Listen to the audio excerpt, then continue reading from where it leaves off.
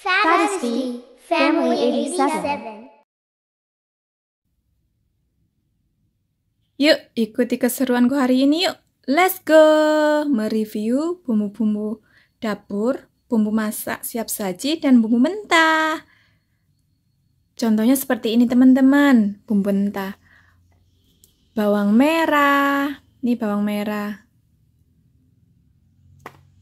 Bawang putih,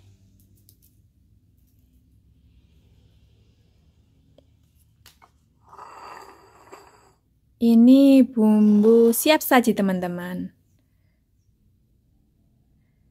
Karena aku sebagai ibu rumah tangga, identik dengan bumbu-bumbu dapur teman-teman. Saya selalu pakai bumbu, kebanyakan pakai bumbu siap saji teman-teman. Karena saya ada anak kecil, jadi biar ambil gampangnya, cari amannya, cari cepetnya gitu. Jadi pakai bumbu siap saji dan begitu praktis teman-teman. Nggak harus ngupas bawang merah. Nggak harus ngupas bawang putih. Tinggal kasih celup-celup gitu aja ya. Garam ini tinggal kasih garam. Gula. Tinggal kasih gula. Kayak gitu. Ajinomoto atau micin ini micin teman-teman. Karena orang Indonesia tanpa micin serasa tidak sedap gitu. Apa pun itu kurang mantap gitu. Jadi dikasih sedikit micin gitu. Nyambel, masak, nyayur gitu dikasih sedikit itu biar rasanya mantap, enak gitu ya. Ini micin, sasa. Ini ada kecap. Ada kecap kecap sedap. Gurih teman-teman. Saya suka. Harganya juga terjangkau kecapnya enak manis gurih. Dan ini ada santan teman-teman. Santan kara ya. Santan siap saji. Ini gulanya. Ini gulanya ya teman-teman ya. Ini santannya santan kara siap saji tinggal gunting tinggal tuang Gak repot, gak usah marut kelapa. Tinggal cus deh, gunting siap saji. Ini kunyit teman-teman. Kunyit bubuk. Bumbu instan siap saji ya. Tinggal gunting-gunting, masukkan-masukkan gitu. Gak pakai ulek, gak pakai kupas. Ini kunyit bubuk kunyit ya, kunyit bubuk. Dan ini ada penyedap teman-teman. Masako, masako ya masako masako sapi teman-teman. Kalau bikin sop atau nyambel itu ditambah sedikit masako rasanya mantap enak guys. Ini ada juga bumbu racik ya siap saji juga. Kalau kita mau goreng tempe goreng ayam goreng tahu tinggal kasih ini ditambahin sedikit garam gitu kalau kurang asin. Udah mantep guys. Udah ada bawangnya ada kunyitnya ada tumbarnya. Jadi nggak usah ulek-ulek nggak usah kupas-kupas. Tinggal beli ini. Siap saji. Sat-set. Mantap deh. Rasanya juga enak. Kita cari amannya guys pokoknya. Siap saji ya tapi aman. Ini juga ada bumbu sop. Kita nggak harus ulek-ulek gitu ya merica atau apa segala macem lah. Gitu ya. Tinggal beli bumbu siap saji. Racik ini bumbu andalan saya nih.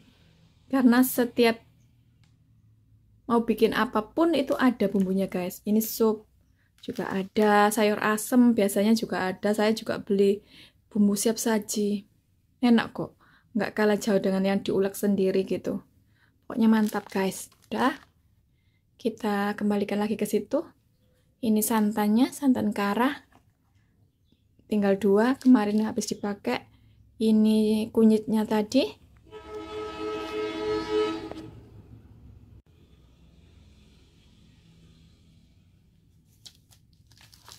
Ini masaknya tadi. Rasa sapi ya guys ya. Ini masako rasa sapi ini bumbu raciknya tadi. Bumbu untuk goreng ikan tempe tahu enak. Bisa apa saja. Tinggal penyesuaiannya mau bikin apa. Bikin nasi kuning juga enak itu guys bumbu itu. Rasanya sama kok. Gak kalah jauh gak beda jauh. Ini tadi kecap sedapnya tadi guys. Ya kecapnya tadi saya dimasukkan sini lagi? Ini gulanya tadi. Ini gula ya gula pasir ya. Saya kadang-kadang ada yang brandnya ada yang biasa. Seketemunya guys. Seketemunya seadanya gitu. Gak kalah jauh sama manisnya kok. Sama yang itu yang ada brandnya itu ini garam tadi guys. Saya taruh sini biar gak biar gak ngembun gitu ya. Biar gak ngembun guys karena garam itu mudah basah. Ini yang tadi guys. Bumbu ini bumbu mentan tadi ya. Ada bawang merah ada bawang putih. Jadi kalau udah pakai bumbu instan guys gak usah pakai bumbu bawang merah bawang putih tinggal siap saji yang tadi itu ya. Seperti yang saya sebutkan tadi guys. Lah ini ajinomotonya tadi ini kebetulan saya pakai sasa. Ya tanpa ini rasanya tuh hambar gak enak masakan.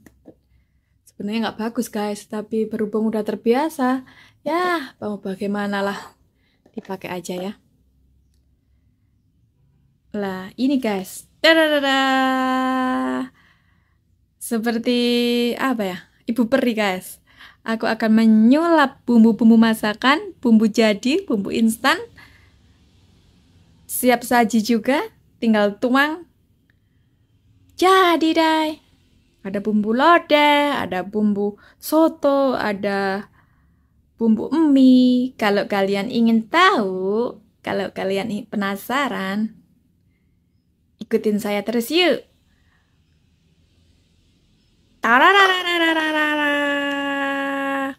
ini guys ini bumbu siap saji